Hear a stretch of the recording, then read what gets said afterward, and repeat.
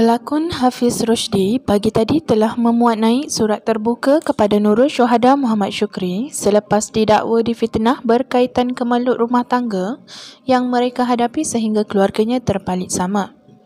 Tidak berdiam diri, Syuhada dilihat turut memuat naik surat terbuka kepada Hafiz dan memulangkan paku buah keras kepada pelakon tersebut termasuklah mengingatkannya kembali tentang kejadian di Tumbuk baru-baru ini.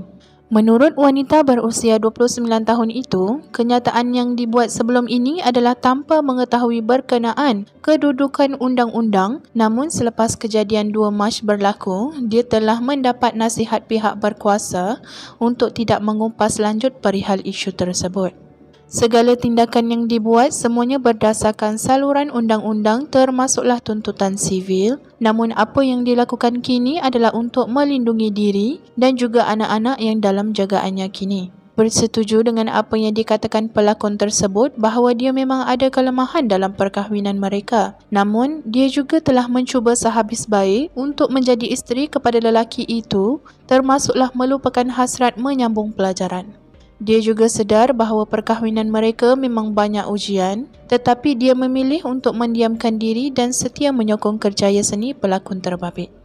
Pengorbanan yang dibuat selama ini seakan-akan sia-sia apabila dia diuji dengan kehadiran orang ketiga yang mengubah kehidupan dia dan anak-anak. Dia berasa dikhianati oleh Hafiz apabila apa yang berlaku tanpa pengetahuannya diketahui keluarga bekas suami termasuklah perihal perkahwinan pelakon berkenaan dengan penyundul tanpa keizinannya. Pada awalnya, dia juga seperti wanita biasa yang dikhianati apabila marah, geram, kecewa dan keliru dengan apa yang jadi.